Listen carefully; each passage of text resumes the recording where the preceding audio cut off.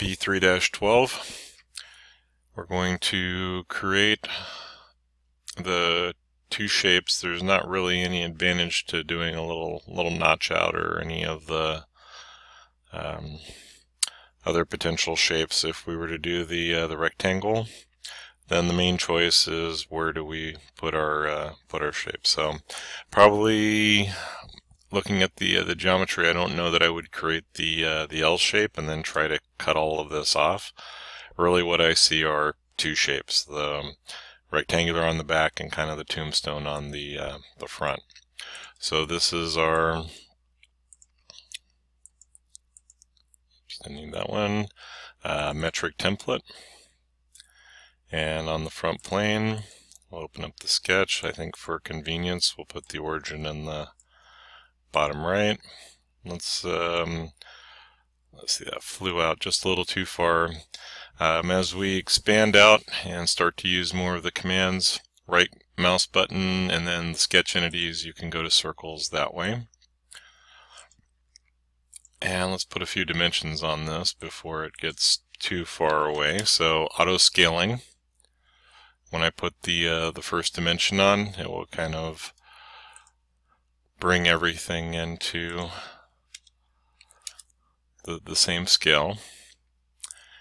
And diameter of 16, that looks a little small. I almost want to say that should be a radius, but we will go with the diameter of 16.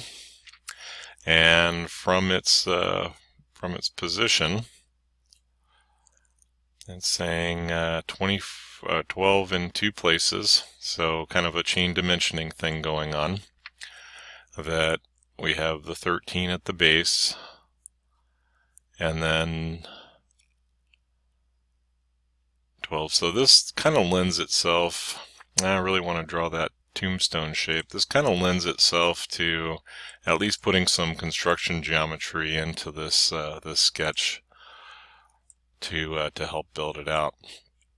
Alright, so I meant to make that a construction. I can always uh, come over to the property manager and check for construction or right click and the second row, second item in will be to switch it to construction geometry. Maybe, there it goes. Alright, so we can put our dimensions in. And so 13 at the base, 12 to the center of the hole, and 12 to the center of the hole.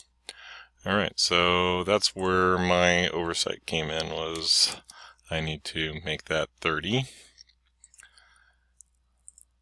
And then I'm going to right click and select midpoint.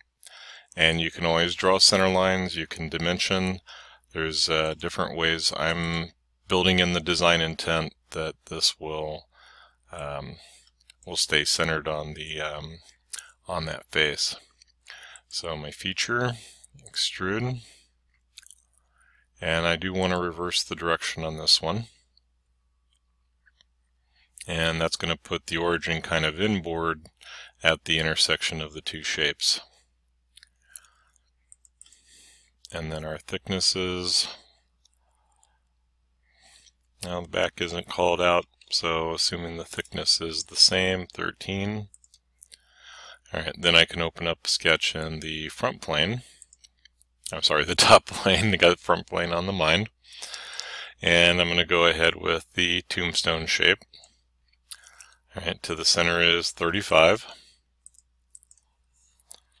And we'll get that roughly in position. And then from the back, our overall is 43. Okay. And then if I go into a tangent arc, I'll be able to pull that geometry. And I don't really want to get rid of the uh, left side of the rectangle. So again, I'll just switch it to construction geometry. Right, and then we generated that sketch, that location in the, uh, the first sketch. So if I show that sketch, I'll be able to highlight that geometry uh, let's see, we can go ahead and put the, um, the hole in as well. Let's get a uh, diameter of 13. and if I were to put the radius of 15 in, notice it's going to be a driven dimension. And if I just want to see it or have it for, for reference, they can leave that driven dimension. I just can't edit it. So features, extrude, and now I'm going to up to vertex.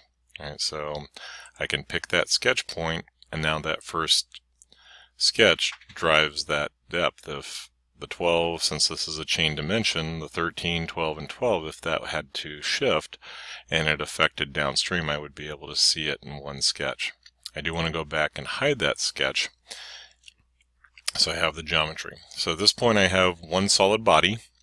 This is a good example where I, I want to be careful that I do not uncheck the merge result because as soon as I uncheck that merge result now I have solid body 1 and it is included but it is a separate item from uh, Boss Extrude 2 or the second solid body.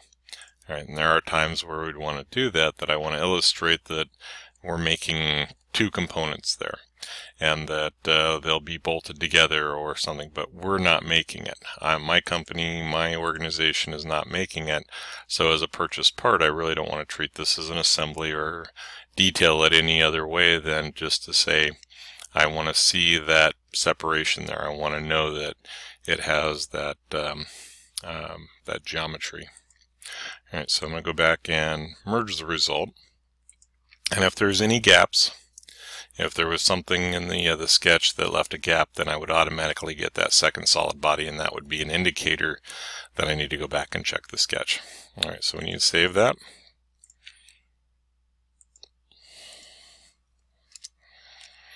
And on to the next.